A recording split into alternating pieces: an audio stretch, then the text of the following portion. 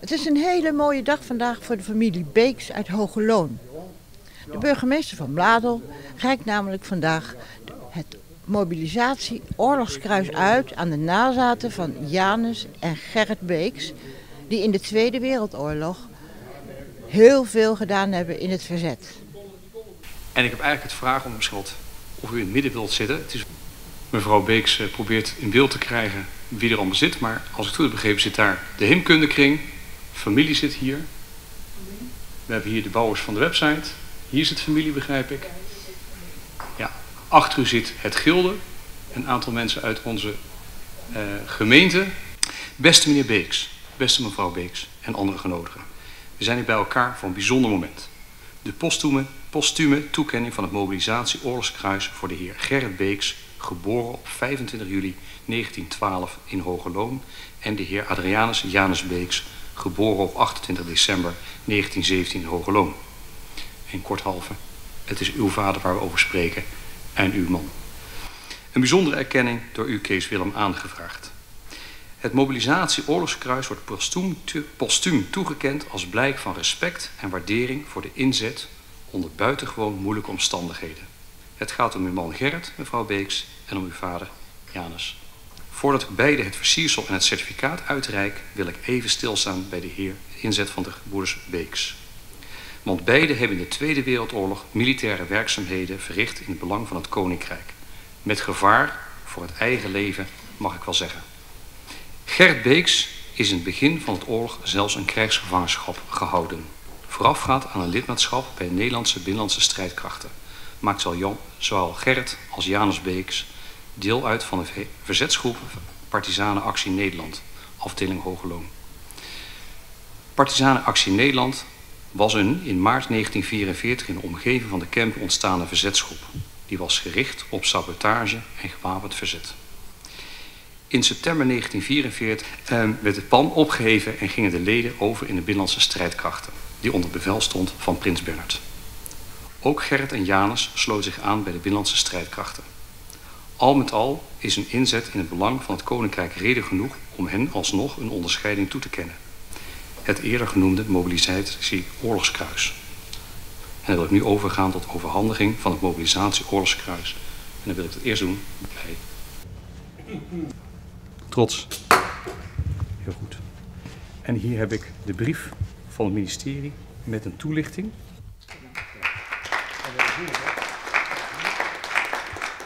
Meneer Beeks, ik heb, Dat ben ik. laat zeggen, ook de mobilisatie oorlogskruis voor uw vader. Alsjeblieft. Dank u wel.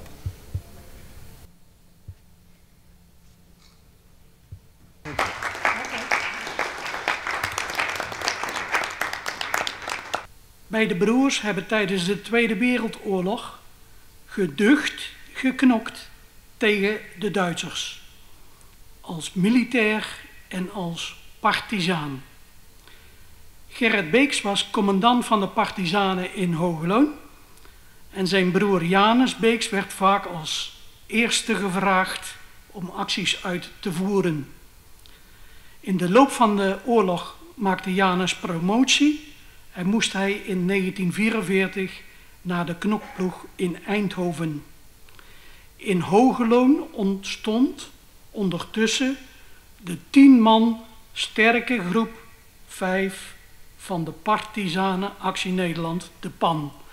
En die partizanen, dat waren, ik ken hun namen, Gerrit Beeks, dat was de commandant, Frans van der Wildenberg, dat was de ondercommandant, Bert Willems, Jan Gooskens, Piet Waterschoot, Dick Sikkink, Kees Sikkink, Thijs Zegers, J. Meeuwse en L. Dirks.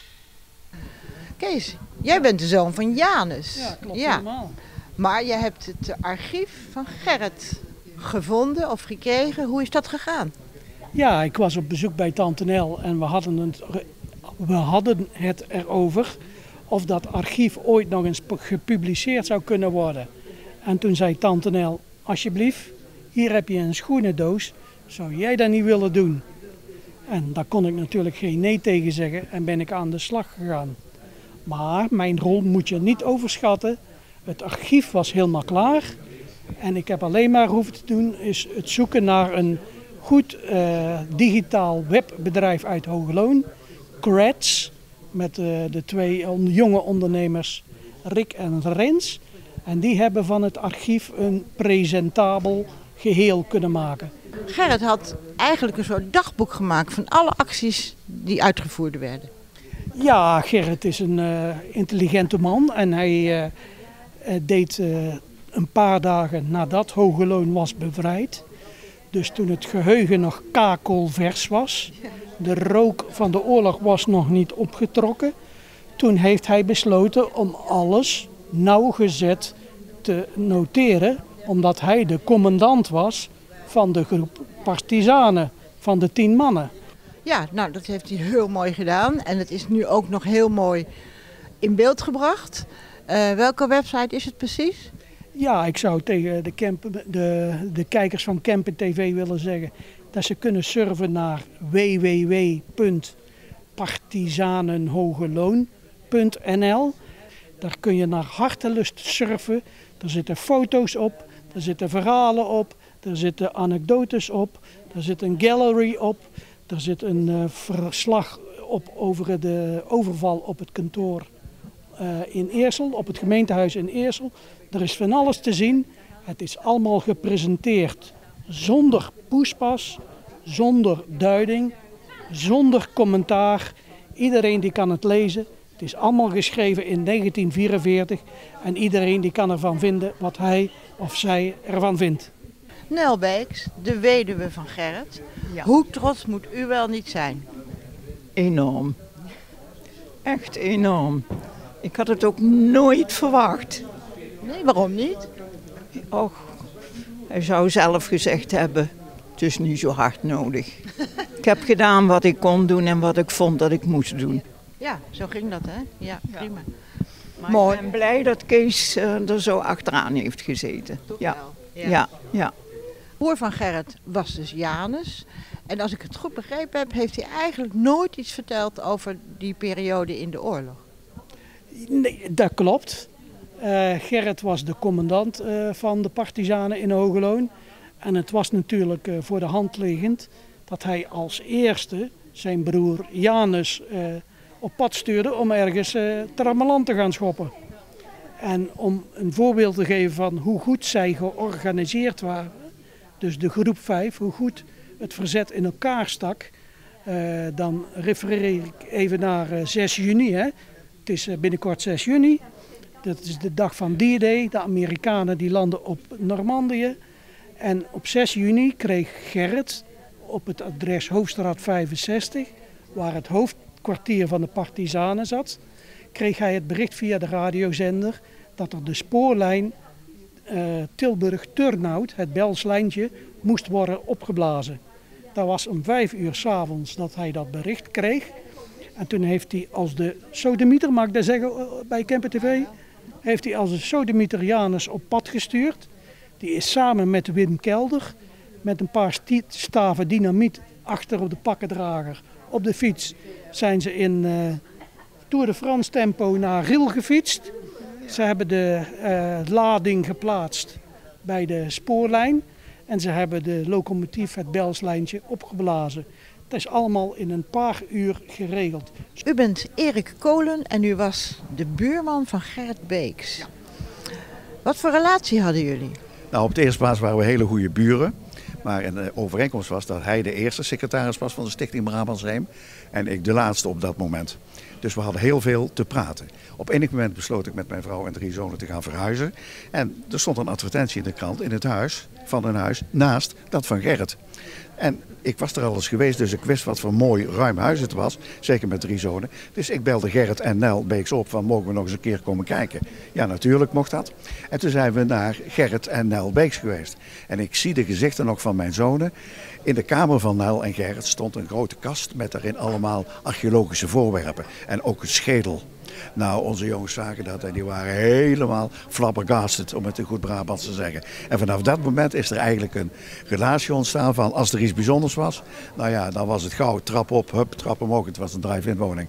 En dan begon Gerrit te vertellen. Nou, als er ooit één iemand is geweest die op een werkelijk fantastische wijze kon vertellen over toen, over archeologie dus, dan was het Gerrit. En dat heeft heel wat uurtjes opgeleverd. Al dan niet vergezeld met een lekker glas wijn.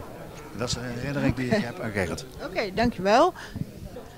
U bent Johan Biemans en u heeft Gerrit Beeks heel goed gekend. Het was zelfs een vriend van u. als vriend gekend, hè? vele jaren. Want ik heb, hem pas, ik heb hem al leren kennen toen ik in Bergijk het gemeenschapswerk deed. En bij het gemeenschapswerk hadden wij een museum opgericht, archeologisch museum voor de Kempen, wat dan achteraf Eiga Museum werd. En hij was toen de eerste Brabantse provinciaal archeoloog. Dus hij eh, ging ook overal kijken waar iets gevonden werd. En ja, zo is die vriendschap. En toen heeft hij mij tot correspondent van de Rijksdienst gemaakt. En in dat verband heb ik natuurlijk met hem heel veel ja, contacten gehad. eh, Totdat hij zelfs met pensioen ging. En toen heb ik samen met Jan Slofstra en enkele andere archeologen een vriendenboek gemaakt. Wat we hem aangeboden hebben toen hij met pensioen ging. De gebroeders Beeks hebben eigenlijk nooit meer gesproken over dat wat er gebeurd is in de Tweede Wereldoorlog. Zoals zoveel die in het verzet zaten of in een kamp hebben gezeten. Maar nu, door het dagboek van Gerrit Beeks en de website, komen we toch te weten wat er allemaal gebeurd is. En dat is niet voor niks, want het is heel belangrijk dat we weten dat dit nooit meer moet gebeuren.